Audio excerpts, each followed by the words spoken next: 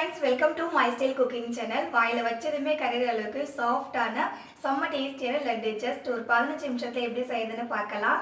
இந்த லட்டு செய்யறதுக்கு நம்ம வீட்டில் இருக்கக்கூடிய சிம்பிளான இன்க்ரீடியன்ட்டே போதும். அது மட்டும் இல்லாமல் ரொம்ப ஈஸியாக செஞ்சிடலாம். ரொம்ப டேஸ்டியாகவும் இருக்கும்.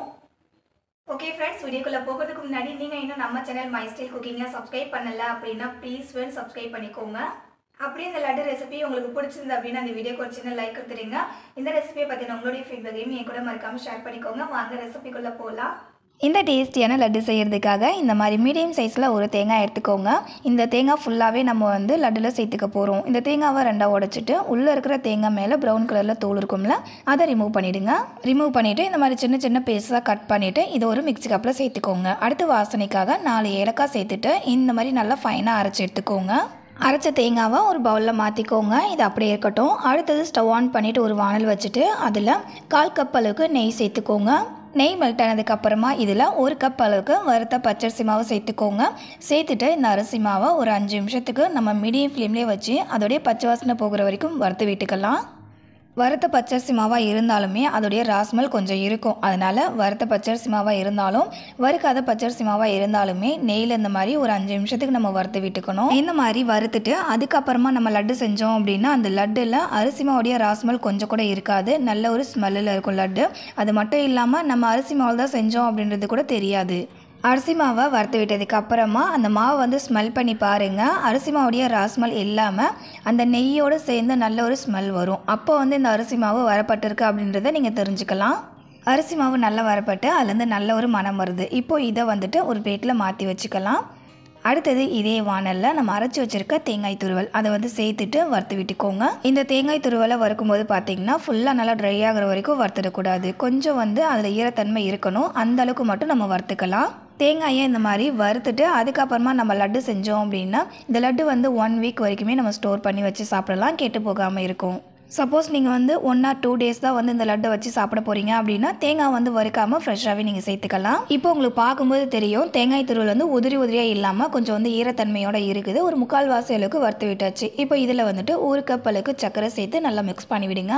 நம்ம சேர்த்துக்கிட்ட சர்க்கரை தேங்காய் கூட நல்லா மிக்ஸ் ஆகி நல்லா மெல்ட் ஆகணும். அது வரைக்கும் நல்லா மிக்ஸ் பண்ணி விடுங்க.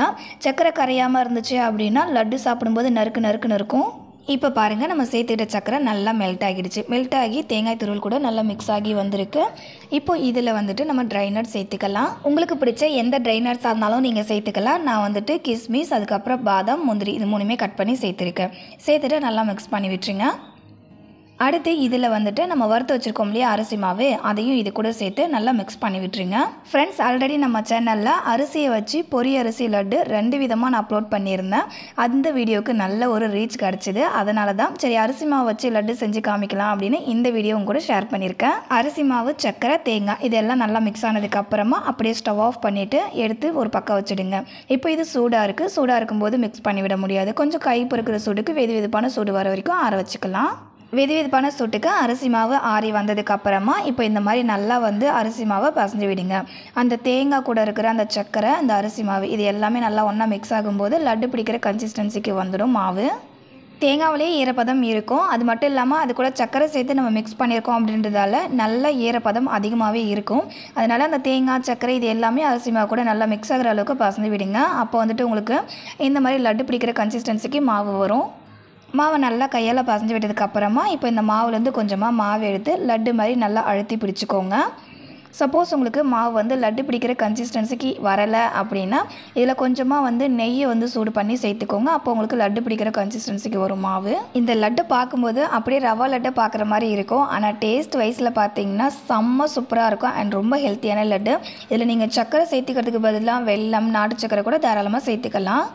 லட்டு சூப்பராக ரெடி ஆகிடுச்சிங்க இதே மாதிரி எல்லா மாவுலையுமே லட்டு பிடிச்சி எடுத்துக்கோங்க. லட்டை பார்க்கும்போதே உங்களுக்கு தெரியும். அது எந்தளவுக்கு ட்ரையாக இல்லாமல் நல்லா ஜூஸியாக இருக்குது அப்படின்னு. இந்த லட்டு செய்யறதுக்கு ரொம்ப டைம் எடுக்காதுங்க. கரெக்டாக ஒரு பதினஞ்சு நிமிஷம் இருந்தாலே போதும். ரொம்ப ஈஸியாக செஞ்சிடலாம். அதே போல் நம்ம கடையெல்லாம் வாங்குறத விடவே இந்த லட்டு ரொம்ப ஹெல்த்தியாக இருக்கும். நம்ம வீட்டில் செய்கிறோம் அப்படின்றதால ரொம்ப ஹைஜீனிக்காகவும் இருக்கும். எல்லா மாவுலையுமே லட்டு பிடிச்சதுக்கு அப்புறமா நான் காமிக்கிறேன் பாருங்கள் எவ்வளோ சூப்பராக இருக்குல்ல? நான் சொன்னதை போலவே பார்க்கறதுக்கு ரவா லட்டு போலவே இருக்குது ஆனால் அந்த டேஸ்ட்டை விட இந்த லட்டு ரொம்ப ரொம்ப டேஸ்டியாக இருக்கும். செய்யறதும் ரொம்ப ஈஸி இந்த லட்டுவை நான் ரெண்டாக புட்டு காமிக்கிறேன் பாருங்கள் உள்ளேயுமே வந்துட்டு ட்ரையாக இல்லாமல் நல்லா ஜூஸியாக சாப்பிட்றதுக்கு அவ்வளோ டேஸ்டியாக இருக்கும். நீங்கள் வாயில் வச்சதுமே கரையிற அளவுக்கு அவ்வளோ சாஃப்டாக இருக்கும். நீங்கள் கண்டிப்பாக இந்த லட்டுவை ட்ரை பண்ணி பாருங்கள் ட்ரை பண்ணி பார்த்துட்டு உங்களுடைய ஃபீட்பேக்கை மறக்காமல் என் கூட ஷேர் பண்ணிக்கோங்க. ஃப்ரெண்ட்ஸ் இன்னைக்கு உங்க கூட ஷேர் பண்ணிக்கிட்டேன் இந்த அரிசி மாவு லட்டு ரெசிபியை உங்களுக்கு பிடிச்சிருக்கும்னு நினைக்கிறேன்.